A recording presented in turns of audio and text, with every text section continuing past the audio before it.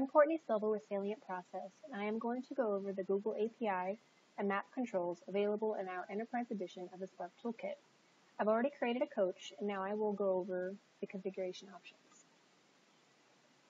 The Google API control, you need to put in an API key here, and there we have a knowledge base article on how to get an API key, which I will go over at the end of the video.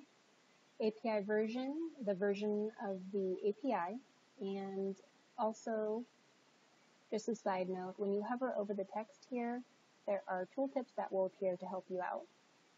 Use location sensor, if that is selected, it will use the location of the user. Include places library, when selected, it will include the places library and it should and you should use it with the Google Places control. Events, you can use JavaScript logic to affect the effects of the control. So for this example, uh, when the API loads, there will be an alert letting us know that it's loaded. This is the map control. Under behavior, um, again, you want to put in your Google API key that you put in in the API, Google API control that I went over just a second ago. Uh, same thing with Google API version. Um, and this list here is self-explanatory. When they're selected, um, for example, hide pan control, when that's selected, it will hide the pan control. Uh, hide zoom control, when selected, it will hide the zoom control. When not selected, you know, those things will not be hidden. Uh, show marker, this will show, this will indicate whether uh, to show the marker or not. So when it's selected, it will show the marker. When not selected, it will not. For this example, I'm setting a static location. So I have my latitude and longitude here. And if you are wondering how to get latitude and longitude for a specific location, um, all you have to do is in a search bar, type in, um, you know, latitude, longitude for a specific address, and there are websites out there where you can put in the address, and it will give you the latitude and longitude of that of that address.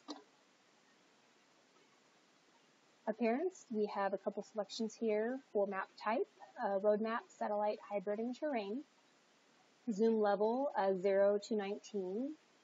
0 is the whole world, and uh, 19 uh, is very, uh, includes buildings, it's the highest zoom. Width, you can use px percentage or em, and if no unit is specified, px is assumed. Height, uh, the same as, as width, you can use px percentage or em.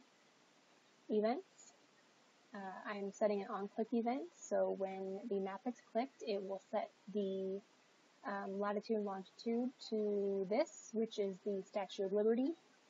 And the reason I have map 1 here is because the map control ID is map 1.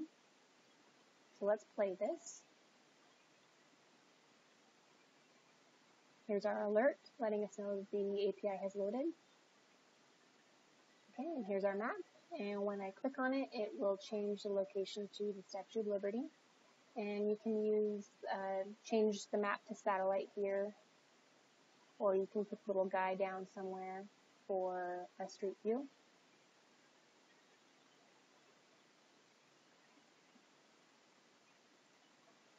Now I'm going to show you how to get more information on the Spark Toolkit. So first go to salientprocess.com and then select support and then click on Learn More about Spark Toolkits. And this will take you to a form to fill out, and someone will be in contact with you regarding the Spark Toolkit. Then once you have access, you can browse our knowledge base.